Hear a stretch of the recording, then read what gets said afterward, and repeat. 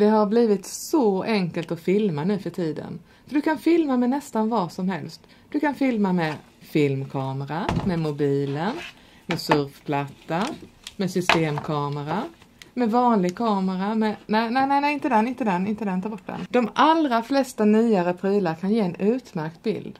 Men för att det ska bli en användbar film så finns det en del saker du behöver tänka på. Ljudet är väldigt, väldigt viktigt när du filmar. Känner du dig osäker så gör en testinspelning och lyssna sen på ljudet så att du vet att det blir bra. Och ha sen öronen på helspänn när du verkligen filmar.